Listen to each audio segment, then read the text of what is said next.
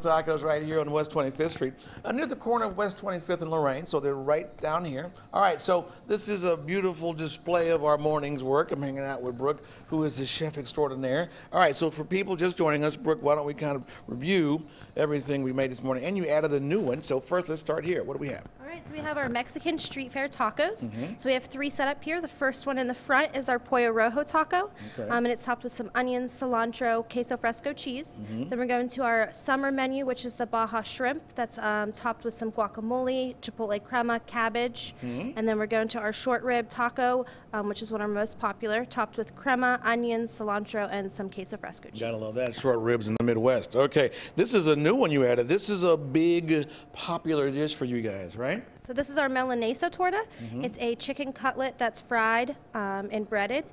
Um, it's in a telera roll with black beans, some salsa verde, lemon vinaigrette tossed arugula, and some avocado mayonnaise. Wow, yummy. And then over here we have our appetizers. Correct. We have our house-made queso that's made with a base of onions, heavy cream, and a lot of cheese. Mm-hmm. And then we have our house-made guacamole um, from fresh avocados every day. Okay, and then Neil, um, you guys are known for a couple of cool signature drinks, so let's uh, start over there. Well, Mexican Well, beer, right? Of course. You gotta right. have that one. That just goes with it. That's plain and simple. Um, also, this is on our seasonal menu as well too for the summer. It's a pineapple margarita. So we're doing Altos, Olmeca, uh, Blanco tequila, a little Licor 43 that brings out a little vanilla, and some pineapple juice. Cool. And our house-made sour mix that goes with that with the Tajín salt rim. Mm-hmm. Um, that's gonna pair great with anything. And then you have our standard Bakersfield margarita with our house-made sour mix, fresh squeezed lemon juice, fresh squeezed lime, agave nectar, simple syrup, and a little bit of orange juice as well with plenty tequila and some triple sec. Wow, there you go. So now people want to pop by, uh, give us the hours.